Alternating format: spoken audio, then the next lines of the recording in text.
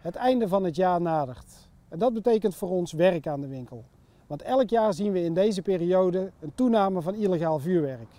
En als het gaat om het transport, het bezit en de handel in illegaal vuurwerk, zitten wij er bovenop. Nog niet zo lang geleden werd illegaal vuurwerk echt nog opgehaald in bijvoorbeeld België en naar Nederland gebracht. De laatste jaren gaat dat anders. Via webshops is met enkele muisklikken zwaar en illegaal vuurwerk te bestellen. Als dat vuurwerk besteld wordt, dan komt het vaak naar Nederland via couriers en wordt het door postvervoerbedrijven meestal bij de mensen thuis afgeleverd. En dat is heel erg gevaarlijk, omdat die mensen, die vervoerders, niet weten wat voor gevaarlijk vuurwerk zij vervoeren. Er zijn vele soorten illegaal vuurwerk in omloop. Eén ding hebben de meeste soorten gemeen en dat is dat ze een enorme explosieve kracht hebben. De gevaren en risico's worden vaak onderschat. Dat blijkt elk jaar weer uit de cijfers. Zo moesten er vorig jaar 434 mensen naar de spoedeisende hulp in het ziekenhuis en werden 700 mensen op een huisartsenpost behandeld na ongelukken met vuurwerk. Er vallen ieder jaar inderdaad heel veel gewonden en vooral jongeren jongens in de puberleeftijd, dat zijn toch de jongens die het meeste vuurwerk bestellen. En wij proberen in de opsporing daar extra aandacht aan te verrichten. Dus we zitten vooral op de postpakketten. Uh, we hebben daar ook heel veel succes mee dit jaar. We hebben al duizenden kilogrammen meer in beslag genomen dan andere jaren. En we hopen dat het op deze manier ook een veiligere jaarwisseling gaat worden. De politie stuurde bijna 900 waarschuwingsbrieven naar mensen die vorig jaar zijn betrapt met illegaal vuurwerk. Om te voorkomen dat zij dit jaar opnieuw de fout ingaan. De komende weken gaan nog heel veel brieven de deur uit. Ja, we gaan nog vele honderden brieven versturen naar mensen die op vuurwerk hebben gezocht, maar ook mensen die vuurwerk hebben besteld. Uh, als ze recent vuurwerk hebben besteld, dan kunnen ze nog bezoek verwachten van de politie. En op het moment dat ze daarop uh, betrapt worden, dat betekent dus ook dat ze dus een misdrijf hebben gepleegd. Dit is niet zomaar een overtreding waar een boete op staat. Dit is een misdrijf en daar staat sowieso een werkstraf op en een strafblad. En vooral dat strafblad, dat kan heel veel jongeren natuurlijk wel uh, een last zijn als ze later uh, naar een school of een, uh, een, een, baan gaan solliciteren. En het is ook zo dat de ouders, die kunnen ook nog in de problemen komen. Want wij als politie willen heel graag dat er ook bestuurlijk wat gebeurt. Je ziet bij Hennep al dat woningen gesloten worden. Wij gaan ook nu die burgemeesters informeren van dat dit vuurwerk in die woningen is aangetroffen. En dan kan de burgemeester beslissen van of die inderdaad zo'n woning een tijdje gaat sluiten. Afgelopen week heeft de politie een grote internationale actie tegen illegaal vuurwerk gehouden.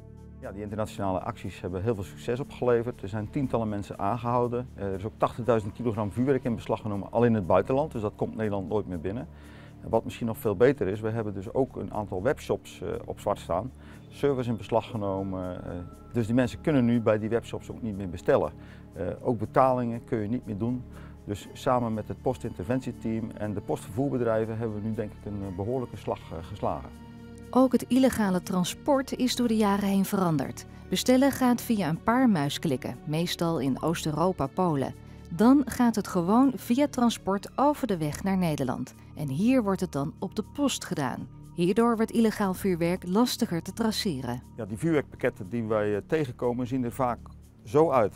Uh, en dat zou ons ook heel veel helpen als burgers uh, kennis dragen van dit soort dozen, dat die ergens liggen, dat ze ons bellen.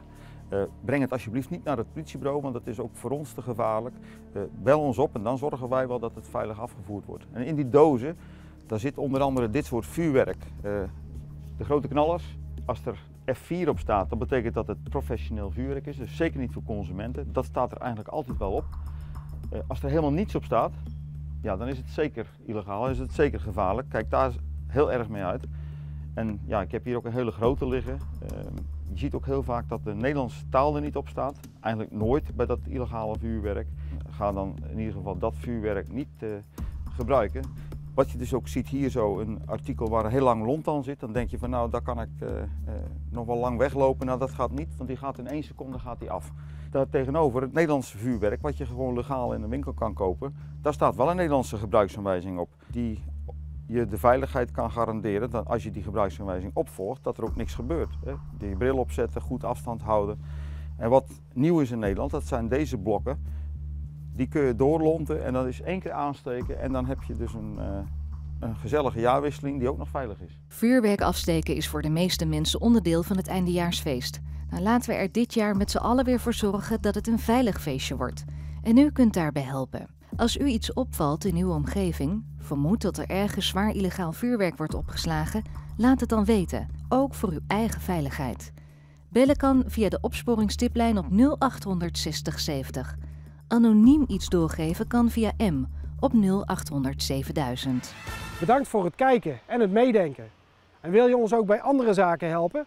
Abonneer je dan op dit YouTube-kanaal. Misschien kun je ons wel helpen bij deze of deze zaak. Bel met je tips 0800 6070.